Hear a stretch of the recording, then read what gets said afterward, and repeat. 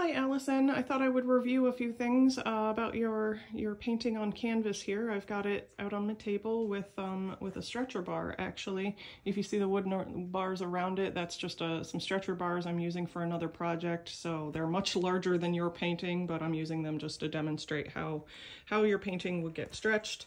So um, yeah, the canvas gets wrapped around bars, um, custom cut to fit the, the size of your painting. So the front of just your entire painting there um, gets wrapped around some bars and I like to put staples on the back but there's only an inch and a half or so of margin here which is not a lot of work to work with. So um, I'll end up wrapping that around and putting the staples on the side here. So um, yeah, some people like to just have their their canvases stretched and then minimal just hang it like so. Um, I have in the past painted that edge once it's wrapped around the bars. Um, that edge can be painted black or a complementary color, a dark blue would work in your case here so that when the staples and that white edge there are on the sides, um, that can be painted like a dark blue to uh, correspond. And sometimes people do that just to like hang it temporarily and then frame it later, um, which is an option, but um,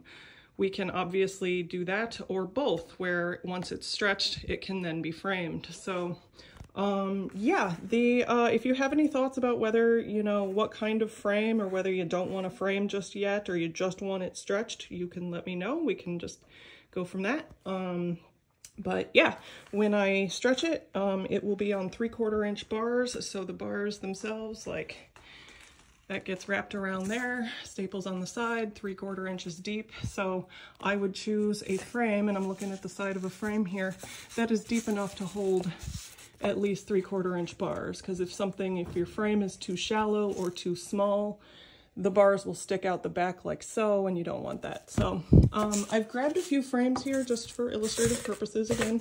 Um, something kind of uh, basic wood, warm. This would work with this piece. I, I, mostly just want to gauge what, what style you're looking for. Um, and uh, yeah, other end of the spectrum, something quite opulent. And this looked Italian or something to me, definitely European, but um, yeah, water ripples. Uh, similarly with water ripples, I've got a um, like a, a, a, rich dark gold with, with rippled carved uh, texture on the front there. And that frame is also available in a large version, also in like a silver pewter kind of color. Cool versus warm.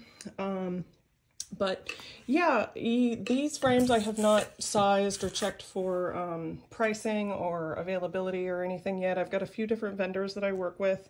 And, um, you know, if we've got a style we want to shoot for, I can definitely use some of these, but I can also definitely show you some other frames as well. So um, yeah, let me know what your thoughts are. If you like any of these or if you'd like to see more, you've got style, something that you want to match it to in your home, I can I can work with whatever ideas you have. So um, yeah, I thought I would just review the, the basics of having it stretched.